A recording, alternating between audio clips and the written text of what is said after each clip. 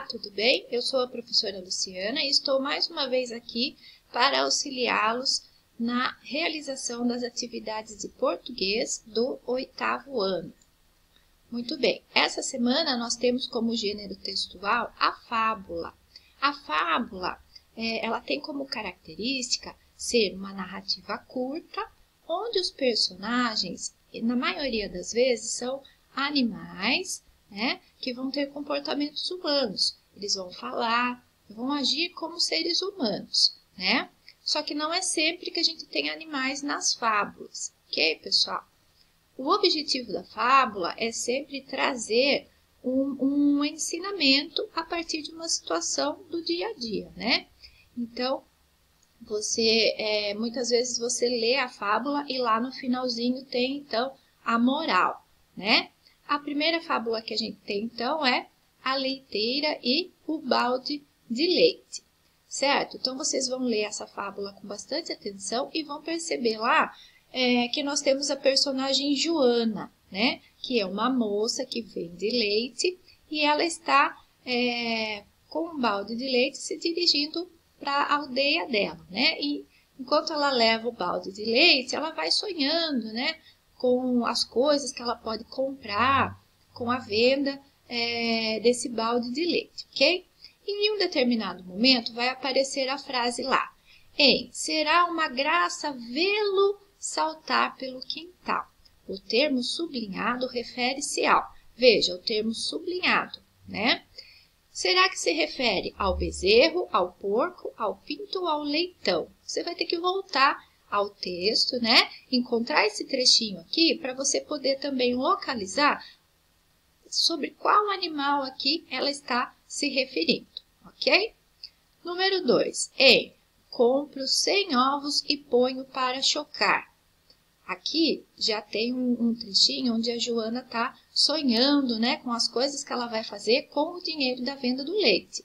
E aí temos então a presença do travessão. O que será que ele indica? Ó, o fim da expressão do pensamento de Joana, o início da expressão do pensamento da leiteira, a continuidade do pensamento da mulher ou a interrupção do pensamento da personagem.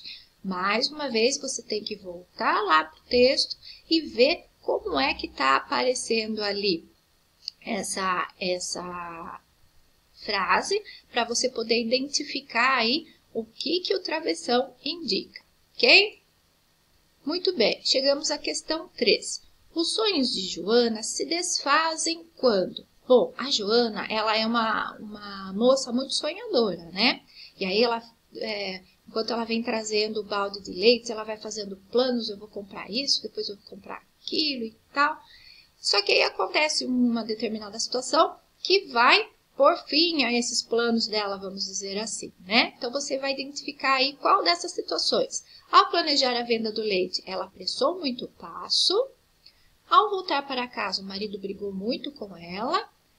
Ou então, a C, ao saltar, ela deixa o balde cair e derrama todo o leite no chão. Ou a D, ao carregar o balde de leite, ela se deu conta do trabalho que teria.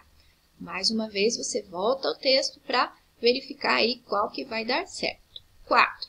Ao planejar o seu futuro, a imaginação de Joana é marcada. Veja, é, por meio da, do, das coisas que a Joana vai nos contando, a gente percebe, né, como é essa, esse planejamento do futuro, essa imaginação que a Joana tem em relação ao seu futuro. Então, veja, como que é essa imaginação? É marcada pela ousadia. O que é a ousadia? É quando você não tem medo de arriscar, né? Você tem coragem de arriscar situações novas e tal. Será que é marcado pelo pessimismo? Ah, nada vai dar certo. Pela timidez, né? Ou pelo otimismo? Tudo vai dar certo, certo? Então, uma dessas quatro aqui. Cinco. Em adeus bezerro, vaca, porco, leitão, ninhada de pintos. A pontuação que encerra essa frase ou seja, o sinal de exclamação indica uma triste constatação, ou seja, né, quando a pessoa toma ciência de algo, algo que é daquele jeito e pronto, ela constata alguma coisa. Uma extrema satisfação, uma alegria, né? uma reflexão duvidosa quando não tem certeza ou uma lembrança desagradável. Ok, pessoal? Mais uma vez, volte ao texto para você escolher aí a alternativa que você julga correta. Certo? Então, essas são as atividades dessa semana. Espero ter-vos ajudado aí na resolução. Desejo a vocês bons estudos, boa semana e até mais!